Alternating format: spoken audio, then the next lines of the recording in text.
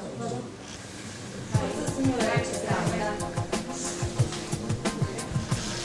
Sono tante oggi sempre di più le coppie in Italia che attendono e sperano la nascita di un figlio, un figlio che non riesce ad arrivare. I problemi sono vari ma a volte irrisolvibili grazie alle tecniche della fecondazione assistita. La diffusione delle tecniche di procreazione medicalmente assistita e l'afflusso sempre più numeroso di pazienti verso queste tecniche è dato dal fatto che l'Italia, insieme a tutti gli altri paesi europei, ha l'età al primo concepimento sempre più tardiva. Questo implica che le donne eh, cominciano a fare figli tardi e quindi i problemi connessi alla loro fertilità sono molteplici. Due bambini su cento oggi nascono così. Secondo gli ultimi dati forniti dall'Istituto Superiore di Sanità, le coppie che ogni anno si rivolgono alla procreazione medicalmente assistita sono oltre 70.000, un numero che dal 2005 ad oggi si è quasi raddoppiato.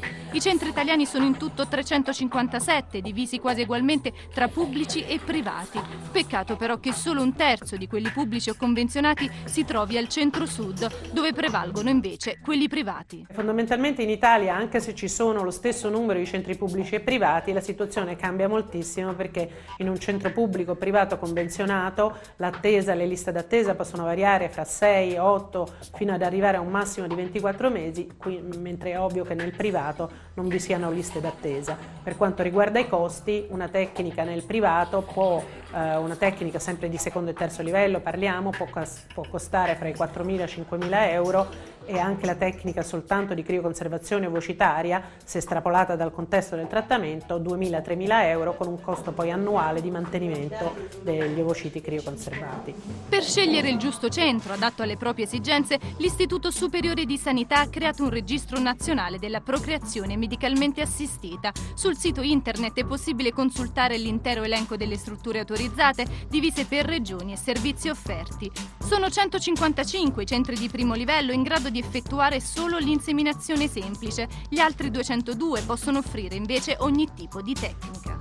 Da luglio avremo anche la possibilità di offrire un profilo del centro, quindi la possibilità per le coppie di vedere in quel centro qual è la patologia prevalente che viene trattata, in modo da scegliere magari il centro che abbia più esperienza con il loro tipo di infertilità. E daremo anche la mole di attività di ogni singolo centro per vedere quanti cicli vengono effettuati ogni anno in quel centro secondo la patologia prevalente. Per valutare le percentuali di successo di ogni singolo centro è importante appunto considerare la patologia della coppia, il fattore età, il tipo di trattamento e il numero di tentativi fatti per ottenere una gravidanza. E il successo non è detto che arrivi solo dai centri stranieri, spesso tanto pubblicizzati. C'è ancora una quota di pazienti che si rivolge verso l'estero, non è più giusto, non ha più motivo d'essere se non per quelle coppie che hanno bisogno di una donazione di gameti, perché oggi possiamo dire che l'applicazione delle tecniche in Italia ha ottimi risultati comparabili con quello di altri paesi europei, quindi ci sono in Italia centri di eccellenza, le nostre coppie possono essere trattate adeguatamente in Italia, a meno che non abbiano appunto un problema specifico che li debba portare fuori del nostro confine nazionale.